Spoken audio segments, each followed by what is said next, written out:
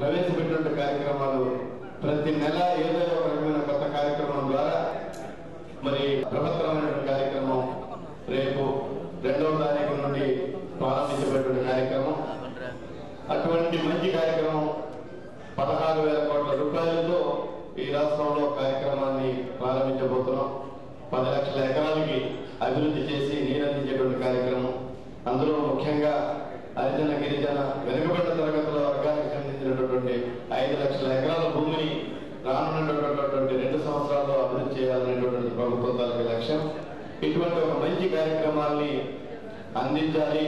ఈ కార్యక్రమాలు ప్రవేశపెట్టాం. మరి ముఖ్యంగా నవంబర్ ఒకటో తారీఖు నుండి కిలో బియ్యం రూపాయికే ఇచ్చేటువంటి పథకాన్ని కూడా ప్రారంభించబోతున్నాం అనేటువంటి ఒక మంచి విషయాన్ని కూడా ప్రజలకు తెలియజేయడానికి ఇది వేదిక కావడం అది మన విశాఖ నగరం కావడం ఒక అదృష్టంగా నేను భావిస్తూ మరి ఎప్పటి మాదిరిగానే ఈ కార్యక్రమాలు చేసుకోవడం? ఇప్పుడు మరి ఈ కార్యక్రమాన్ని కూడా విచ్చేసినటువంటి